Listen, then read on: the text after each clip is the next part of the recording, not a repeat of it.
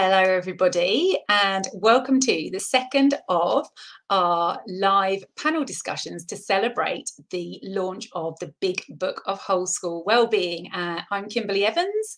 Um, you can find me on Twitter, on at Nourish the Workplace, and on other social media uh, platforms as well. And I have brought together some of my loveliest friends and some of my co authors of the Big Book of Whole School Wellbeing.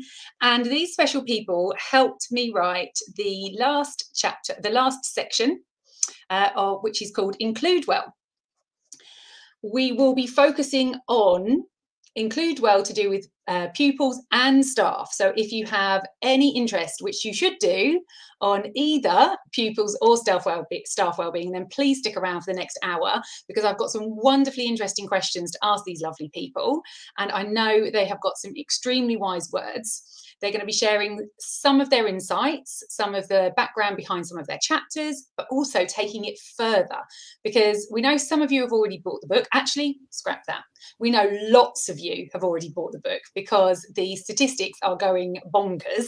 Uh, so, thank you so much if you've already bought the book. We really, honestly, do really appreciate it. And we all appreciate it, but also your staff appreciate it and your pupils appreciate it because that really makes you prioritize their well-being.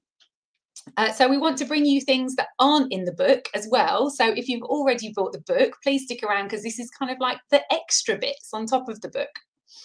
We're having three panels throughout the week. We've had one yesterday. So if you're tuning in for the first time, please, after this, go and find yesterday's panel discussion. And then we have another one tomorrow at four o'clock as well. I'm going to be putting some questions to my panelists and they're going to um, answer the questions. And if you have any questions yourself, please put those in the comment section of whichever platform you're watching on. So if you're watching on Facebook, just put it as a normal comment. If you watch it on YouTube, then please comment below. If you're watching on Twitter, then reply to the live stream and then we'll be able to see your questions. If you use hashtag Big Book Wellbeing, that's up there to help you remember that way uh, help you remember and then we can find it easily as well afterwards and if we miss your question then we can come back and answer it another time also last bit of me talking is the competition you may have book, bought your book but I want you to have a think whilst you're listening to all of our wonderful authors. Who would you like to give three books to and why? Because I have three books to give away this evening from this evening's panel discussion. The competition is running till Sunday, but for this panel discussion, we would like to know who would you give three books to and why? And again, you can put that in the comment section or reply to the Twitter post using the hashtag Big Book and tell us who you would like to give those three books to and why. And you might be in with a chance of winning three copies of our book. Right, let's meet some of these panelists. We have got Jen Beer with us today. So give us a wave, Jen. Jen wrote the chapter Language and Stigma Around Wellbeing. Uh, she is, as you can see, she is Jen NUFC Boss on Twitter. She's passionate. She's a passionate advocate for children's mental health. She uses her BSc in psychology and masters in public health to apply a research driven and collaborative approach to working with children, young people, and families. Jen works in public health and has also worked with children's mental health charities. So she is really well positioned to be talking about inclusion and diversity, which is what we're focusing on tonight. Anita Kate Garai, say hello, give us a wave. Anita wrote our wonderful poem, which is at the very end of our book, which is a lovely bookmark for the end of the book. And I must just give a quick shout out to my brother who did the illustration, which beautifully sets it off as well. Uh, so Anita Kate Garai is a teacher. She's a writer, obviously, and a well-being consultant. She delivers emotional well-being programs to schools based on her stories and poems. Being with My Feelings are four illustrated storybooks and a guidebook full of ideas and activities for the whole school community, which is published early next year. And she can be found at her handle, Anita Kate Garai, Anita Kate G, and Being with Our Feelings as well, which is also put on the screen. So then next we have, see, this is a packed panel tonight. We've got we've got Matthew Brooker, and he co-wrote uh, the chapter "A Man in a Woman's World" with um, Chris and I. Uh, Matthew Brooker is a primary school teacher, primary school uh, sorry, primary school teacher based in Kent, who has held multiple leadership roles across Kent. He has a passion and drive to ensure well-being is at the forefront of all that he does. He is currently working on a programme which engages children, parents and school staff in furthering their own learning opportunities through blended learning. And you can find him at, at Brooker1M. And then we're going to go to Chris, who is wonderfully in his bright yellow t-shirt because he is from from Bright Leaders UK, so that's his company. He again, as I said before, he helped me and Matt write A Man in a Woman's World. He started his career as a PE teacher. Uh, he quickly moved into pastoral leadership and over 15 has over 15 years in this area. He's the founder and director of Bright Leaders, which he is epitomizing this evening, a social, which is a social enterprise which uh, builds courageous influence, influencers through delivering leadership coaching and workshops to young people and educational professionals. You can find him on Twitter at Bright Lead Coach and Bright Leaders UK. And last but no means least, we've got Shabnam Anam, who contributed to the chapter Wellbeing in a Culturally Diverse Society. Hello. She, she's been in primary education for over 20 years, serving diverse communities as a class teacher, a SENCO, a head teacher, and a trustee. She loves working with the staff and communities to strengthen relationships and provision so that they are in the best position to be a positive force for all learners. Shabnam set up Dewdrop Education to share her expertise, support, and challenge those who, like her, want to make a difference. She is currently a lead coach and lecturer at Leeds Beckett University, where she teaches on both undergraduate and postgraduate teacher training courses, and she can be found at Shabs Anam. So, hello, welcome everybody. And just to say, I'm going to stop talking in a minute, I promise. Our discussion tonight is going to run a little bit differently to our other panels, but that's because our section, Include Well, is different to the other sections in the book. So if you're one of these people that has already bought one of our wonderful books, you'll realize that there's a pattern to the book, and most of the chapters do actually follow a very strict formula we've kind of thrown that rule book out of the window for include well um, apart from jen's chapter for instance jen's chapter does follow those um, uh, follow those kind of um, constrictions but we're all here tonight to bring you a little bit more on what we wrote because we've got other chapters have got personal accounts we've got interviews and our poem remember it's a wonderful section of the book so we're going to focus together just on one main idea, the culture of diversity and inclusion.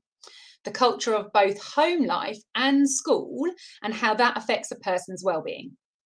And it's worth noting, remember, that we will be covering staff and well-being in this conversation because culture sometimes can be seen to be more of a pupil's domain whereas actually if you remember from when what we wrote in um, a Man in a Woman's World and the cultural um, chapter that Shabnam contributed to, it actually has a huge effect on staff as well. So we're going to open with a general question, and to do this, guys, um, I'm going to ask for an ask for an opener. So put your hand up if you're going to be brave enough to start. My opening question is going to be: What does diversity and inclusion mean to you? Who wants to go first? Who's going to be brave? Right, let's go with Shabnam first. Go with Shabnam, then we'll do Anita. I was going to say I was I was kind of fighting for first place there. Um, diversity and inclusion. It's uh, it, it's one of those phrases that that that you know we hear being bandied about all over the place. Um, but to me, it is about the fact that we are all different. We all have differences and we are individuals, whether you're talking about your class or you're talking about your staff body. You know, often the word um, inclusion, people think about um, specific needs when actually it's every single individual has got some need and it's about making sure that we address all of those needs not just because they have a label not because they look different not because of their gender or their you know their their um, racial identity or anything like that. We each have our own individual needs and that to me is what diversity and inclusion is about. That's lovely. Thank you very much. Thank you for sharing. Should we go to anita next Hi. Um, yeah, Shabnam put it beautifully. Um, maybe just to add to that, I would say that, you know, I think if the impact of knowing that it's sort of happening in a healthy way for me would be that um, everybody feels seen as they are and everybody feels accepted and acknowledged and valued exactly as they are um, yeah that that's sort of how i would probably measure the impact of it. Absolutely. That's yes absolutely beautiful and i can massively identify with that as as well. So yeah wonderful. Anybody else like to jump in with this? Okay we'll go chris next. Yeah for me i mean it's exactly what they just said but f- for me it's about listening um, and listening with with with ears eyes and and heart really. Um, and i think listening is one of the most underrated skills, and listening is a is a really difficult skill that often we don't spend much time thinking of. We're ready to kind of listen to respond um, rather than genuinely just just just being there to, to, to listen. And I think when we do listen with our ears, eyes, and heart, we're in a really strong position to support in a really inclusive and a di- diverse way. That's wonderful. Yeah, and we'll, the, we'll kind of lead into the, the question which we'll come on to in a minute later on when we've heard from from other people. But we need to listen because we're not in there those people's houses. We're not in their home life are we? And we so we don't know. We can we can we see what we see in the school in the school day but there's so much that goes on with children and staff that they're experiencing at home and we have to listen to them so that that we can understand that so that we can really then meet their needs. Yeah, absolutely. And really important point. Okay, Jen or Matt, who's next? Go on, Jen. Jen just beat you, Matt. Jen. yeah, I mean, I, I couldn't agree more with what's been said, um, obviously. And I think the listening thing is so key. It's it's absolutely paramount, really. And I think there's a lot of talk at the moment about sort of diversity and inclusion. And I, am conscious, I work with a lot of schools, that they can feel a sort of pressure to immediately sort of act upon things and, and sort of tick, tick off a list of um, actions that they need to achieve. And I think what really matters with diversity and inclusion is that it's meaningful and that it's ongoing because it is there is no quick fix. That's the thing. There's no quick fix to to kind of improving situations. There's just meaningful dialogue conversation and making sure all the time that you are listening you are asking questions. If you don't know something then ask the question. And linked to that it's about it's trying to foster a culture and an environment of non-judgment you know, an openness where people are willing to learn from each other and aren't afraid to ask those questions as well. Yeah, having openness and being yeah, so people know who they can go and talk to. That that is really really important. Yeah, completely agree with you. Okay, Matt, you've got the difficult one because five people have four people have already said some fantastic things so far. now you've got to you've got to you've got to say something uh, that's different. More poignant, shall we say? I, I don't know whether we can. Um, now, my friends here have obviously covered covered it really well. Um, you know, the listening element is fantastic. You know, meaningful, purposeful. Love all of that. For me, it's just not having a glass ceiling, not having a barrier, um, not not limiting anyone um, if they don't want to be limited. You know, I think we spend a lot of time within schools really targeting diversity and inclusion, um, but it's also you know listening to others. Do they want to feel like they are being included or are they happy with where they're at? It's that meaningful purposefulness. Don't just push someone into a box because they fit into a box. Um, just ensuring that you are listening to everybody. Um, all stakeholders that you are are looking after. Um, staff children parents carers. And just making it um, making being very aware of of your community um, and not limiting them, basically. Mm. Yeah, very, very important. And I think it's worth pointing out at this point as well, because we didn't really say this earlier on, is that um, when we're talking about diversity and inclusion this evening, and what really came through, really, I was really, really passionate about making sure this came through in the book, was that diversity and inclusion means many, many things. It is race, it is disabilities, but it's also gender, it's sexuality, it's religion. All of these things come under diversity and inclusion. And it's really important to make sure that we are addressing all of those things across our schools and really making sure that we're we're addressing all of the issues that come up for all of those things because i think sometimes it can we can go down we're brilliant at doing one particular thing. So you think okay okay we're going to really really concentrate on um, on race in our school and making sure we're being you know really addressing the issues surrounding our young people in our school. But then we are maybe then maybe leaving out some of the people that are having issues because of their sexuality or we're not really including everybody with all the different religions that are in our community. So i think we do have to be very careful that we are being re- we are being inclusive of all inclusion which is a which is a very very difficult thing. We totally take on board that there are there is you know you have limited times as educators out there. There is only so many hours in the day. You know we totally take that on board and we are doing a book and panel discussions about well-being well-being which involves your well-being as well. But hopefully throughout the rest of the panel discussion we're going to come up with some really easy ways that you can that you can address these things in your school.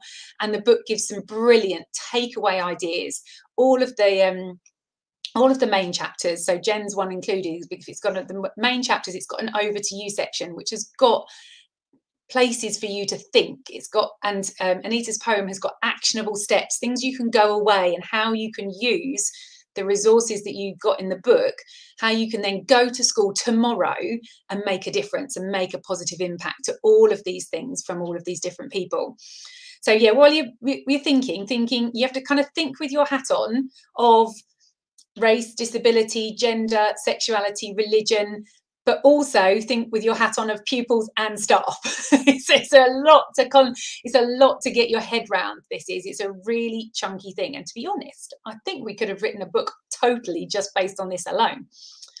Um, all right, let's do the next question. Uh, the first um, first main question then. Um, how does the culture of home affect well-being in school? How does the culture of home affect well-being in school? And Chris, are you okay if I come to you first for that one? Yeah, yeah, go for it. So, um, I mean, I think I think they're both interlinked in terms of what's going on at home, what goes on in your school, what goes on in school can can transfer into home really. And, and, and for me, if I'm happy at home, and staff are happy at home, and the young people are happy at home, then they're going to be happier at school.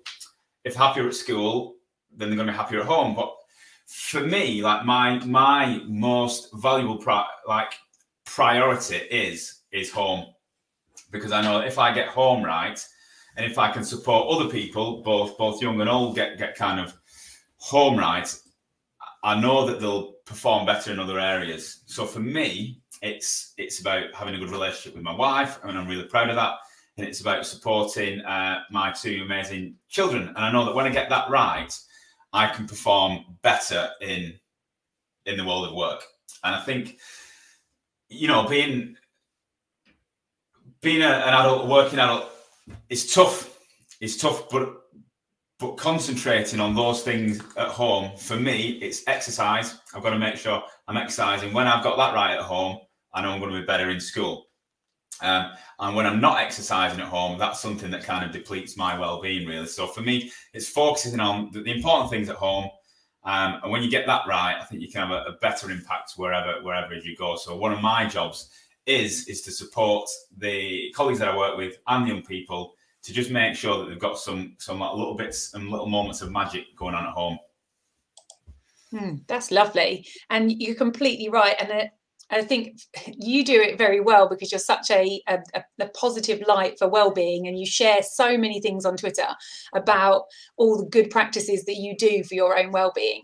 Um, I think it's really important as well, though, to remember that we need to be aware that staff members, for instance, might not be having, on the other side of the coin, might not be having a very good time at home, and therefore, then how that's going to impact their job as well, isn't it? Because mm. you know you're you're you're you're you're in a brilliant place at the moment and then as you say that's making your job a lot easier because because of that.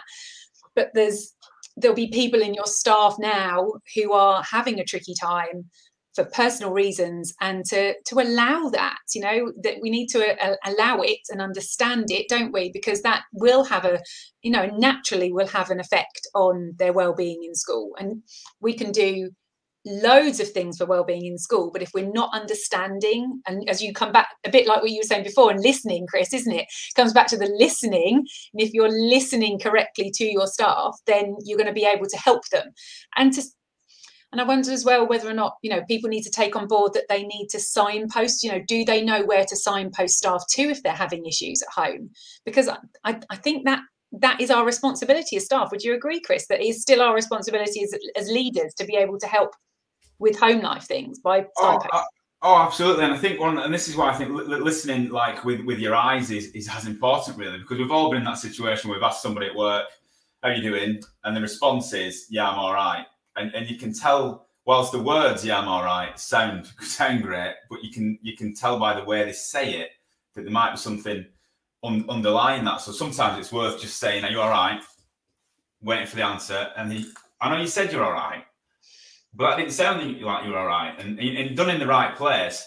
That can be a really good way of opening opening something up, you know, that's that's a little bit deeper, that's that's not mm. on the surface really. And, and I think we need to move towards, and we're getting much better, move towards a place where, and not only are we better at sharing when we're not all right, but actually being a better place of being there to to listen for the answer. If the answer comes back, you know, know, I'm not all right. I need I need five minutes, and I'd love to talk to you for five minutes. And I think being that person receiving, you know, that information is tough as well. And I think we need to think about how we prepare ourselves for listening correctly because it's not about giving advice all the time.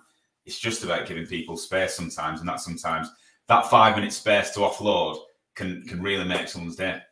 Yeah, brilliant advice. Thank you, Chris. Um, Shabnam, can I come to you next? How does the culture of home affect well-being in school? What would you like to say? You can come to me. Um, I'm just going to, well, first of all, I'm just going to uh, kind of go on what Chris was saying there. And I love the idea of um, ears eyes and and heart for listening you know i'm a big advocate for for authentic education and and and quite often that goes uh, with with hands head and heart education um so this this notion of being able to see you know and feel um what's going on at home. I mean the culture at home is is is is vital and and for staff in school and actually also for the you know for the learners in school to understand that that culture at home um, can be different. Uh, i mean in the work that i do you know I, I talk about deep culture. We're quite often used to looking at surface culture and thinking that okay i've got you know um, i don't know a child um, who is autistic and therefore this is what it's likely to be like at home. But that may be the case but then you've got to look deeper and, and kind of what's going on in that actual home. If you think about um, i don't know ethnic identities you know we, we kind of have these these sort of and I, i'm not even talking about stereotypical views but we might think well we make assumptions about how things are in a home and actually they will be very different to somebody else who might identify in lots of similar ways. Um, but our positionality affects everything. So that deep culture at home is, is, is, really important to find out about. But something else that chris was talking there um, if you you know you, you ask staff you ask children and you say how are you? And they, they'll they'll say oh i'm fine. Um, it just struck me because uh, i'm so i'm autistic i have adhd and typically again you know the, this is something that can happen that that um, learners staff with that kind of neurodiversity will use i'm fine as a default because it is very difficult to um, sometimes to articulate how you're feeling. Uh, so being able to listen with your eyes and your heart in that situation is is you know it's invaluable. It's it's brilliant um, so yeah I, I think for me it's about finding out those individual cultures you know what is the culture in that person's home? Um, what is it that that makes them tick? What is it that's uh, that, that's kind of causing them some anxiety? And that that requires time which i think if we are trying to develop a culture of nurture and understanding in schools then we've got to allocate time to that Mm.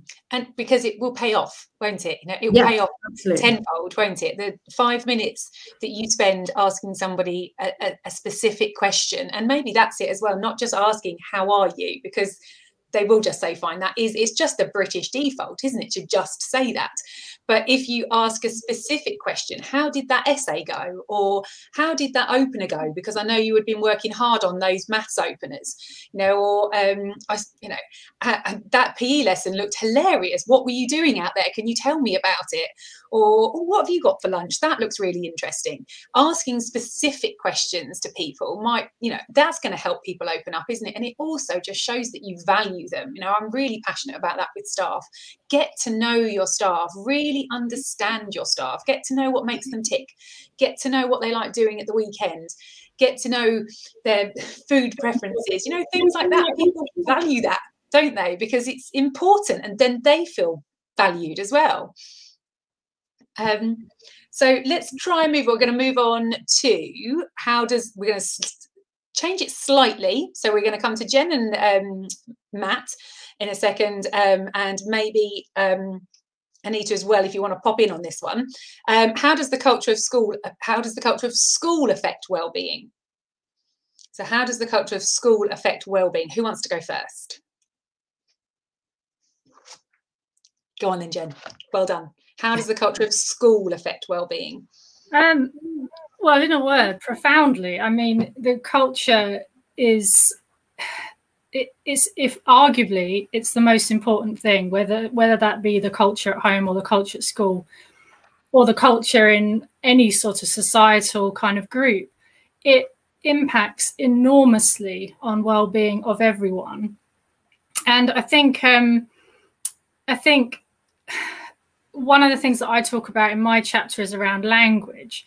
And I think it's so important that that's taken seriously, actually. And it links to what we've already discussed around how actually to have a meaningful sort of culture around mental health and well-being, you have to have an understanding of where everyone is at, where they're coming from, what words they do use to describe how they feel and, and, and to sort of articulate what they're going through until you have that understanding of where everyone is, it's very difficult to create a meaningful culture that everyone can kind of feel a part of and connect with. You know, if you sort of just, and I don't know many schools that would do this, but I certainly know many um, offices that would do this. If you sort of sit in a room and try and write down a policy which will create a culture, it's never going to work you have to have that dialogue with the children, with the parents and carers, with the staff within the school. Everyone has to contribute. And I think one of the really useful tools for, for doing that is to sort of create a vision, create a vision together with everyone around the table or representatives of everyone around the table actually contributing to that so that it's really sort of coming from every angle and I think that that's really key. And I think another thing that's really key to sort of well-being in terms of culture is, and this links very much to what we were talking about before, is listening is absolutely key, but modeling is also really key. So I think um, in terms of when um, when people ask each other, "How are you doing?" and everyone just responding with, "Yeah, I'm fine," I think there's also something really powerful in each and every one of us modeling a different response. So if I say, I'm having a bit of a bad day, then the person I'm asking, How are you? might just feel that little bit more comfortable telling me how their day really is. Uh, does that make sense? I think it's just sometimes we need to give each other permission to sort of drop that initial automatic reaction of, of just, yeah, I'm fine. And sometimes to do that, requires someone else letting their barriers down a little bit. And I think that modeling thing is really key to sort of creating a meaningful culture. And actually, just sorry, I won't, I won't keep keep going on, but actually, in terms of the links between the school culture and the home culture, that again is why it's so important that we're speaking to parents and carers and the wider family. Because if we do nurture a culture within a school or education setting where it's okay to talk about your feelings, and then a young person goes home and they're in a culture where it isn't okay to talk about their health or their well-being, then that puts them in a really tricky position. So we need to make sure that everyone is coming on that journey together um, because I've been in that situation, I'm sure many people have, where you have taken that courageous step of telling someone how you feel and you've not got the reaction you wanted. You've actually got quite a negative reaction. And that can prevent you then from telling anyone else again for years. It's that powerful. So it's so important that within the school, within families, that culture actually comes together and is brought together. Yeah, completely agree. Yeah, and kind of on that lines, it kind of um, leads a little bit into uh, the project that Chris and Matt helped me with with the men's well-being. Really, really kind of we create somewhere safe for people to say that. You know, there's and we just we try and funnel them into that but there's a, a, perfectly safe space for, for men to be able to come and, and do that and there's never any never any stigma you know going back to you know linking it back to your chapter really to, to try and break down that stigma of, of, of men and mental health because you know, we need to be able to say, you know, I'm having a bad day, but actually it's not a hugely bad day. It's just a little bad day. It's just a little bump in the road kind of a thing. And, and modeling that is, is, is completely key. And I've started doing that with my daughters as well, because, you know, that whole, you know, we're, you know, lots of us are parents here that you say, how was your day? And they say fine or boring. And then that's it. And then they, they, they stop doing. I started doing something where I was I so I share when they get in the car and I rattle on for 10 minutes about my day. And what's now happened is that now my daughter rattles on for 10 minutes about her day because I've modeled that to her. I didn't that didn't twig until she was like 13 years old. And I've like, oh, missed out on all of those days when she's coming home from school.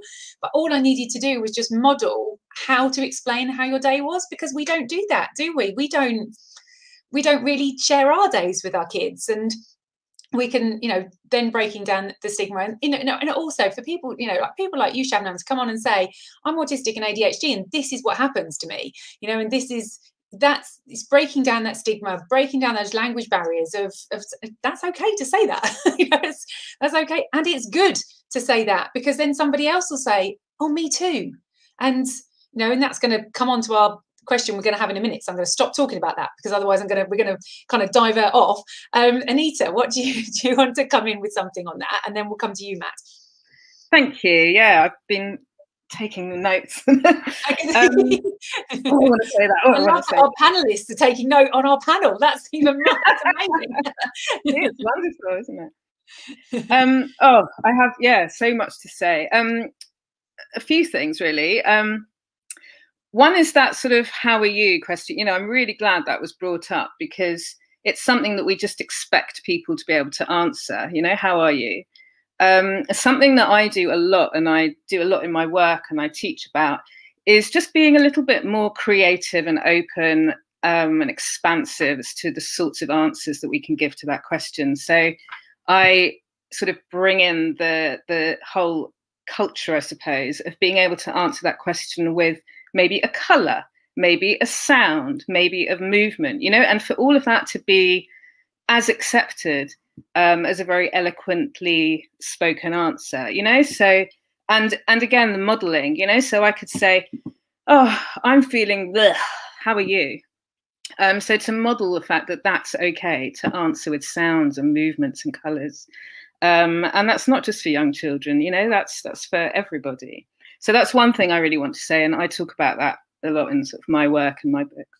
Um, and to the whole school culture thing, like apps, it really absolutely does need to be a whole school thing completely, you know, so that there's a common, there's an agreed sort of ethos which my what my te- my what I sort of teach is you know the agreed ethos is we can all be with all of our feelings in this school you know? We not there aren't any feelings that are pushed away or dismissed um, or judged you know? There aren't negative and positive feelings. We're not all trying to be happy. Um, you know sadness is is equally as accepted and acknowledged the feeling of numbness, the feeling of I don't know, all of those are feelings and they are all accepted. Not being able to answer the question of how are you? is an it needs to be accepted you know? We there isn't a right answer to that question. The answer is whatever the answer if the answer is silence that's an answer in itself. There might be numbness there you know? There's so so i think just having um yeah that culture of sort of non-judgment acceptance somewhere where everybody can take risks and experiment um you know that sort of does absolutely need to be a whole school thing. Um so i'm getting i have so much to say do stop me. Um another really i want to just add you know that question about how does the culture of home? Mm. to me i immediately i mean i understand what home means but i immediately also went to the definition of sort of at home within ourselves. And for me you know it starts there. Um it's about you know can we include the diverse emotions and feelings in ourselves? Can we include all parts of ourselves? I'm getting a bit sort of deeper now but you know can we?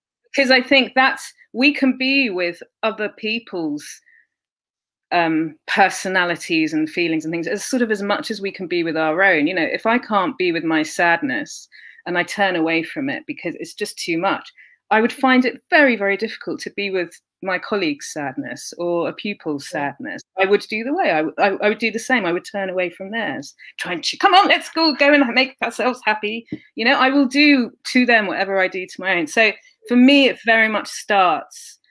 Uh, well, we can do it simultaneously. We don't have to get to a certain point in ourselves to them, you know, but it does start by looking at ourselves and making sure we put things, as Chris said, you know, at home having things happening at home in, in our lives um, around sort of mindfulness and meditation, or whatever it is that helps you to accept um, yourself and all the bits of yourself. Um, just checking my note. Yeah, that that's sort of. No, I can, that's lovely, um, because I love that about the colours. You know how Mm. wonderfully mm. inclusive for people with dis- some disabilities mm. to be mm. able to do that you know that's that and it's such an easy thing isn't it just to be able to pick out a color or come home and just show somebody a color of something and that was your day is so much easier than using words especially when kids come home and they're totally overwhelmed or even adults. You come in the door and you just don't have any words. We've all been at that stage haven't we? And you know you just you there's just i can't i just can't talk. There's just nothing cohesive coming out of my mouth. Um, so that would just be wonderfully inclusive wouldn't it? That's that's mm. brilliant. Okay. Uh, matthew so let's just remind everybody of the, the question how does culture of the uh, the culture of the school affect well-being? What would you like to say? So for me um, part of the chapter i wrote was was really a personal experience um, a roller coaster of my career so far. Um, for me realistically it's it's from from it emanates from top down. Um, I'm in a very fortunate position now, um, where I'm working under an amazing extended senior leadership team. Um, I know that a few of them are, are, watching tonight, so I'm not name dropping them. Um, they, I've, spotted the comments. they, yeah, yeah, they allow me the opportunity to be me. Um, so a few years ago, uh, before I worked where I work now, had a bit of a breakdown. The chapter goes into more detail about it. Um, and actually, I needed somewhere to feel like I could be me. Um, I'd lost my way with teaching. I didn't enjoy it anymore. I wasn't passionate, wasn't driven. Um, and I needed somewhere to be able to express myself and explore who I was in order to deliver what I needed to for the children that I'm teaching. Um, and it, I don't think there there isn't one way um, that we could sit here and say this is the way that we're going to uh, create a, a well culture of well-being for our school because no one's the same within their schools. Um, even within the school that I'm I'm working in, everyone is completely different, and what works for me doesn't work for somebody else. Um, I like to blurt feelings out if I'm feeling that way, um, but I know that it doesn't work that way for others. Um, it's about looking at that truly inclusive approach that we were discussing right at the beginning of the conversation and ensuring that we um, put that for our staff. Because um, for me, first and foremost, if we don't make sure the well-being of staff is sufficient enough, then there's definitely no way we're going to make the children um, feel the way they should be feeling and and make them better citizens for the future. Um, they see so much in their little lives, um, particularly with the, the, the increased amount of social media, which is always a positive thing for us adults, uh, not necessarily for children. You know, I don't know. Um, we can talk about that another time, but they see so much in their little lives, and if we can't figure that out, how are we going to expect them to do it? Um, but for me, it's it's a top-down approach um, and a, a, within approach as well, where everybody needs to be in it together, and it's not a one-size-fits-all. It, that doesn't it doesn't work that way. Um, I've worked in places that try that, doesn't work. And just linking back to something Anita was saying with colours, that is awesome. Um, it works in my classroom. I'm teaching 11 year olds um, and we use the Color Monster, amazing book, awesome. Um, not as good as our one, but it is a good book. But it works fantastically for them to be able to express a feeling without, you know, I see so many of these charts that you see in a classroom. I'm feeling this way today, and my face is going to be on this chart. Um, no one really wants to put that out there unless they feel like they can. Um, as an adult, I wouldn't want to do that. I want to have something that's a little bit more subtle. Um, and that's something like using colors works perfectly well for a child just to have something subtle to show them. Um, and it, you know, can work for adults as well. Seen it work for grown grown adults. So, but I think it is, you know, it, like I said, it is. It's not a one size fits all. I don't think there is a perfect answer to this question. Um, and we could have 101 comments that tell me I'm wrong or that anyone else is wrong on this panel, and that's fine because we're not in their setting. Um, so whatever works best for your setting is the way forward for you yeah that's a really really powerful thing for you to finish finish your little thing on really isn't it? Because it is it's got to be a personal thing. It's got to be something that's personal to, to your particular culture. And, and we go into that with all of our different chapters actually about making sure that it, it's it's bespoke to your school, your setting, your classroom, your village, your town, your city, your country, your culture.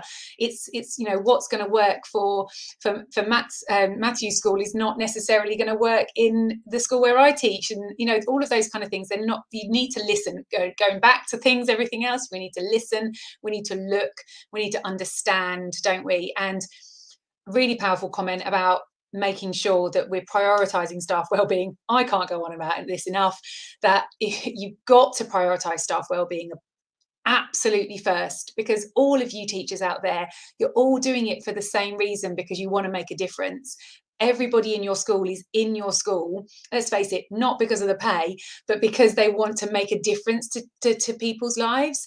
And to be able to do that you need we need to look after them that's what needs to come first. And then they are perfectly equipped to then be able to go and make amazing impact on young people. Absolutely amazing impact but they need to be right in themselves first. And that's you know again uh, that's my passion project for again for another time. So we're nearly um, we've got like 15 minutes left so we need to rattle through the next question but before that, I'm just going to remind everybody while you guys all take a breath, because that was like, whoa, that was big stuff. You were, that was, this is really good stuff. People are going to be glad they've tuned in.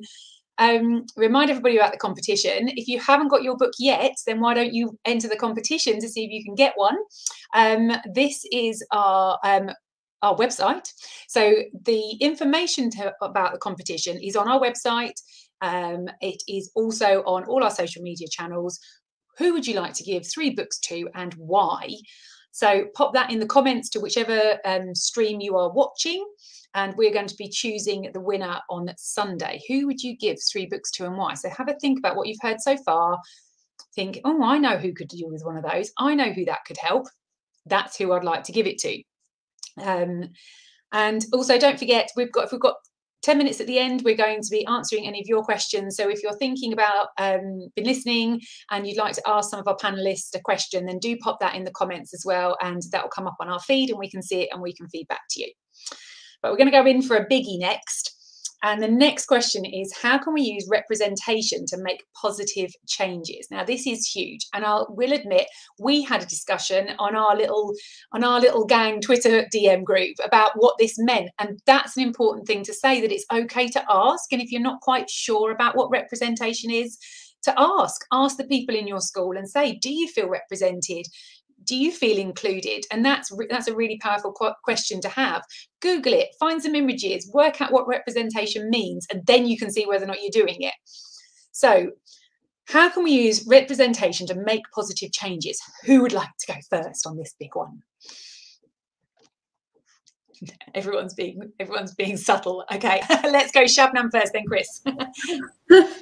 Um, okay so i mean representation people uh, again it's another thing that's kind of you know it, it's becoming a buzzword isn't it? You know representation matters. Yes it does matter. Um, but it matters not just from the the point of view of somebody feeling represented but also perhaps in a space where um, the makeup of the staff or the you know the pupils, the, the, the learners that are in that organisation are a little um, less representative. That it, it's about having um, different differences, I guess, um, out in the open and on view and being talked about, so that because if you're if you're struggling with something that um, nobody else or you think nobody else is struggling with then you're less likely to come forward and and and ask for support for that. And you know for your well-being to be um, to be addressed and to be nurtured then you need to feel like you're you're part of something. So um, you know whether that's that's representation of your you know somebody else there who, who shares your sexuality or um, shares your gender presentation or shares your um, you know your racial identity your cultural identity. Um, it's it's about making those differences um, visible uh, you know so and and that can have such an affirming um, effect on on on anybody, whether that's staff um, or whether that's pupils. I mean, you know, you've got chapter about um, what it's like to be a man in a woman's world. You know, because uh, quite often in in teaching spaces, um, being a male uh, member of staff and and the expectations that come with that and then the limitations as well you know because of our expectations in society we have to be aware of those things and just make it okay um, to i can't remember who it was who said that to make it okay to be who you are um, and that that for me is representation that's brilliant. Thank you. Thank you. That was beautiful words. And yeah, completely agree with all all and everything you said. um, Chris, off you go. Yeah, for me, it's about um, I think understanding self, um, and I need to mention like your relationship with self actually is the most important thing. And I think when you have a, a strong relationship of self, it gives you and it opens the opportunities to understand others a little bit more. And I think um, what we, we have got a duty in a personal and personal level. I, have got a duty the way I see it to, to explore my privileges is, is to start really supporting other people um, and giving them a little bit of a, of a nudge, whether it's to do with the representation or the, the confidence. But I think it's about giving other people the platforms that sometimes they might struggle to, to, to get themselves. And I think one wonderful way to do that um, is I love storytelling. And I think storytelling is a really, really nice way to share ideas, thoughts, ideas, and journeys. And I think through storytelling, that can give other people the the courage then to to step up and start sharing their stories and their struggles and their needs and and their visions for their future. So I'm a big believer in storytelling. And just to give you a little thing that I did last week, and it it was like I was talking to young people about my struggles last week in a, in a secondary school, the struggles that I had when I started secondary school. Um, and when I talked through those struggles, this the young people just started bouncing off each other, sharing how they were struggling in year seven, and I wasn't expecting that. But what I've learned from that was in me sharing my experience and the things that I found hard and, and my vulnerabilities at that time in my life, it gave other people the confidence to, to, to, to share. And then once the young people saw other young people, um, it just kept going. And, and, and I've noticed that through storytelling with all kind of things. I think that's a really nice way to, to start helping with representation. Oh, yeah, I can totally understand how that would be incredibly, incredibly powerful. And and then really kind of links back to Jen's chapter really, and our both of our chapters on on the on disability um, by um, Liz Wright and by Holly Evans. That that really would link it to all of it, wouldn't it? They they both said that they struggled with representation in their in their schooling uh, because there's too much of a stigma. Other people don't share because there's too much of a stigma. So if we can break down those stigmas and learn the language by reading Jen's chapter, then you can help with the representation of all so many people in your school because there will be people there, other people in the school that are thinking, I'm a little bit like them, but I'm not quite sure if I am. Or or I wish that I could see somebody, or I, I wish I knew somebody I could talk to about who knew how I was feeling we need to break down those stigmas and those those language barriers so we are more open and more able to talk about people like that aren't we okay anybody else want anything to say anything about representation okay anita off you go I'd like to just add to that. Um, yes, storytelling, poetry, you know, that I, I just find that so such a powerful way. And that was exactly what was behind the poem You and Me that's in the book, you know, like each verse represents a different person with different interest needs you know some love school some hate school some want to be seen some want to hide. You know there's teachers staff um, people who've been through all sorts of things and in different moods and with different things going on in their lives. And that that's exactly what's behind the poem is that you know i try to represent as many different possible um, people um, with different needs and all sorts of things. So yeah, just a little. Um, so you know, grab the poem, put it up in you know on your walls, and read them out. Read out all the verses, and you know, say which one do you you know. And then the reflections are like, which one do you you know is there something in there that you resonate with that you can recognize or you can recognize in someone else you know um, i think that's so important to use stories um, yeah It was me that did it, everybody. You all sorted yourselves out. You all did it brilliantly. It was me that fell into the trap of talking with my with my with my, my mute on. um, talking using stories like Chris said, and a poem like um, Anita's just said, in itself is inclusive because we're using language in different ways. We're accessing people's thoughts in different ways. It's not just about having a conversation, a face to face conversation, which is intimidating sometimes. It's not about always having an assembly, because I think sometimes these things just get put on assemblies and then it's like, well, no one's going to share if you're in a room full of 300 people. You know, that's never going to happen, is it? You know, so just you know making it easily accessible to it's just a normal thing. We're just having an english lesson and we're going to read this poem because it's a beautiful poem or i'm going to tell you a story. We're going to have a chat at lunchtime. I'm going to tell you a story about something that happened to me. And then it it's it's yeah it's all coming back to the, the language as well. Okay we've got seven minutes left. Does anybody else want to say anything about representation before we move on? Okay matthew off you go sorry, it was beautiful to see that chapter um, from Holly Evans from a personal point of view. Um, you know, that was wonderful. Um, and it just reminds me back of, of all the teaching um, that, that, I, that I've done in previous years around representation and around inclusivity and around celebrating those differences that we have in our classrooms. Um, I think that's born from a culture of how I was trained. Um, as a teacher and I was trained to ensure that differences are not something that sets us apart, but differences are something that actually bring us together. Um, because whatever my difference is to, for example, Chris, um, you know, we're different in different ways, but what my area that I'm not so great at is going to be something that he's going to excel at. And that's what's going to bring us together as as a class, as a community, as a culture. Um, but yeah, it's it's it's I, idealistically that being representative of of, of all um, and just ensuring that from the ground up, you know, anybody in that school um, can be represented in a way that they would like to be.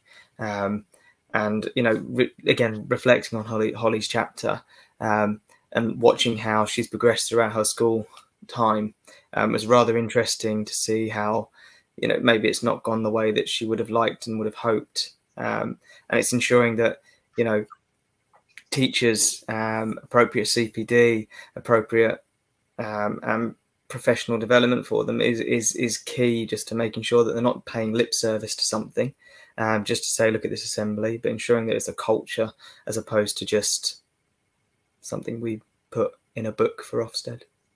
Yeah absolutely. Because how lonely must it be to feel that you're the only one in the school?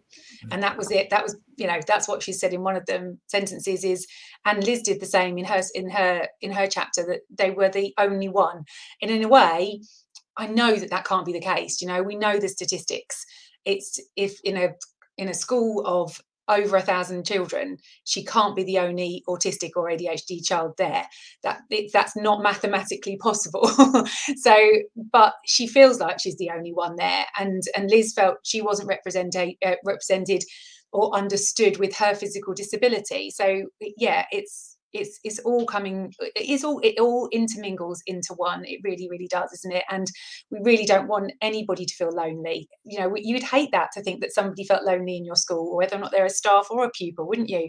But how lonely must it be to not be represented in in all sorts of things? And we talked about this on our dm chat didn't we about it it could be even be that it's the posters on the wall not the children's posters but the staff posters. If your if your posters about well-being have only got women then the men aren't going to engage in that well-being offer.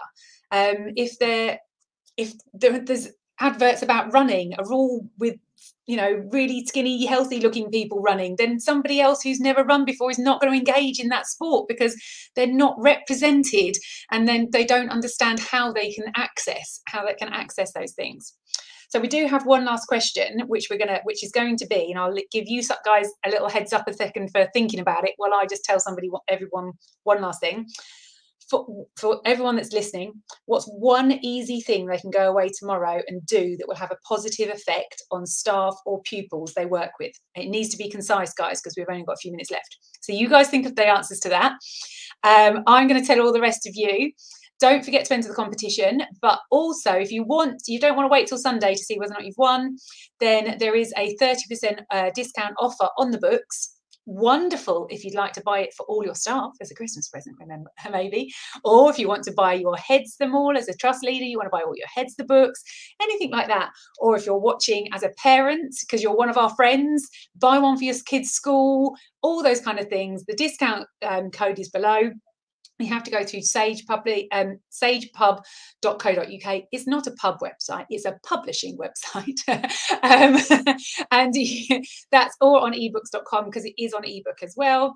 So that's valid until the 31st of December. But also, don't forget to enter the competition because you could win three, and then you'd save yourself some money. So, our, and don't yeah, and check us out on our website as well. So, what's one easy thing they can go away tomorrow and do? Who's going to go first? Matt, you go first first because you've not been first yet. So you go first. No, I was last last time. I don't want to do it again. it's not happening.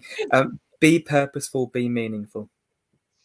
Oh, and concise as well. I like it. Purposeful and meaningful. Well done, Matthew. Who's next? Jen.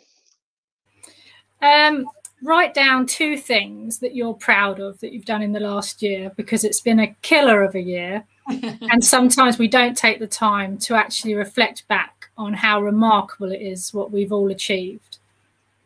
That's brilliant. Yeah, absolutely. Two things, at least two things that you've done. And so many people will have done such amazing things. And maybe come back and share it. Share it with Jen.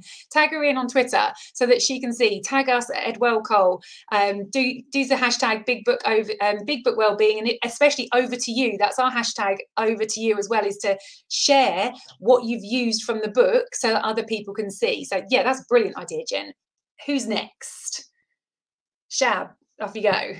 um, um, mine is to do with that that whole representation. I think whenever you um, you you meet somebody, uh, look at them as an individual and remember that there might be a whole lot of different things going on with them. Um, so you know to to always think there's the, there's not just this this one what you're seeing there are lots of levels and and uh, uh, you know um, beneath the surface so yeah. make the time to find out Yeah, make the time to find out. Brilliant. Anita, you got 30 seconds. I'm going to read the last verse of my poem. You see, we're all just doing what we can and finding our own way. We all need different things to help us get through every day. So let's be patient with each other and as kind as we can be. Because as I said, we're all just me and you, and you and me. Oh, lovely. So be patient and be kind. Absolutely. That's a lovely thing. Thank you very much, Chris.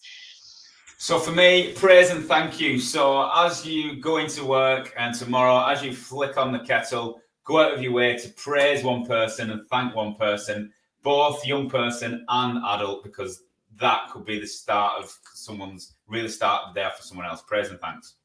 Oh, that's wonderful. And what a thing to end on because then I'm going to say thank you guys so much. You've been absolutely amazing. Thank you very, very much thank you and praising you. You've all been fantastic. Thank you. I hope everybody enjoys. We've had so many comments coming through on the social media. So thank you very much. You have obviously inspired an awful lot of people. If you're only just tuning in right at the end now, give us a second and it's going to be available on replay. Um, so please do go back and watch because it's been an absolutely fantastic hour. It's been a pleasure, you guys. I could talk to you all night, but for our well-being, we're going to sign off. Uh, so don't forget to tune in tomorrow, four o'clock tomorrow's panel, um, and we're all available on catch up afterwards. Thank you so much, guys, and a big well done. Bye bye.